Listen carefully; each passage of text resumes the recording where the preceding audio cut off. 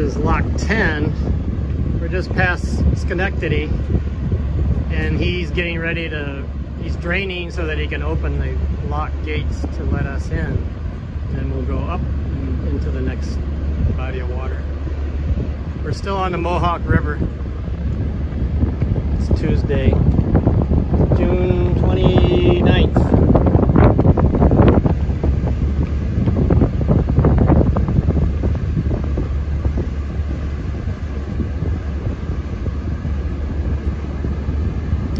if I can, I'll try to videotape when we're in there. It's kind of chaotic.